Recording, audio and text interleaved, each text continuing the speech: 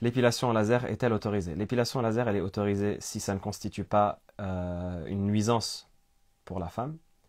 Parce que s'il est, ce qu'il est autorisé de, retirer temporairement, Wallahu alam, c'est un, sujet de discussion entre les contemporains, mais on peut faire l'analogie pour dire que c'est autorisé euh, dans l'absolu. Par contre, il est interdit qu'une femme voit la aura d'une autre femme.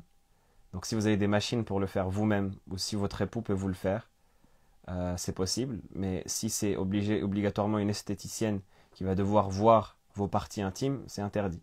Il est interdit qu'une femme voit d'une autre femme ce qu'il y a entre son nombril et ses genoux. Et ça, c'est pour la femme musulmane. Tandis que la femme non musulmane, il ne lui est pas permis de montrer ce qu'on ne montrerait pas à une personne euh, euh, non mahram.